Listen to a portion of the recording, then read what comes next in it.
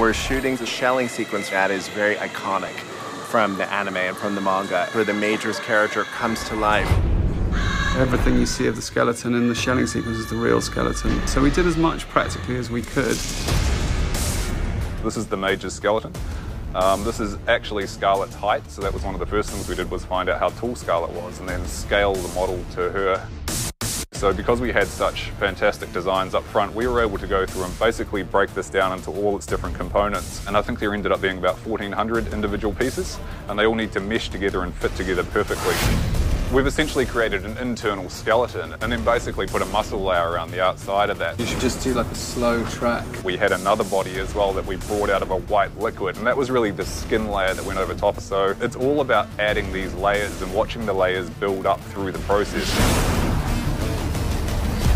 The actual shelling sequence is one of the ultimate moments in Ghost in the Shell, so getting the opportunity to actually be a part of this has been massive.